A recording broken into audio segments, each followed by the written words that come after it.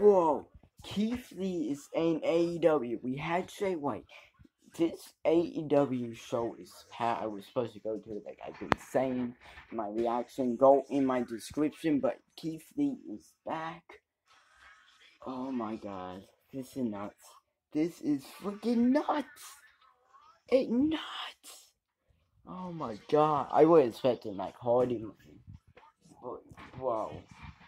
Hey guys, so much for watching. More reaction coming soon. Subscribe if you are new reactions basically every show.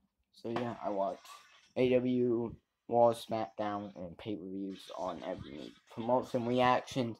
Get the live feed of the show like this. Not, I'm not getting copyrighted, but so Keith Lee is in AEW. Goddamn.